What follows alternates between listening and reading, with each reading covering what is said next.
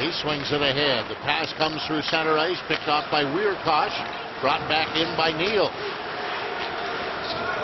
Neil dumped it back out in front. The shot right on is chopped away, but not out. Came back to the point. The shot, they score. Gryba letting it go, and Ottawa has the lead. Well, Erik Gryba had about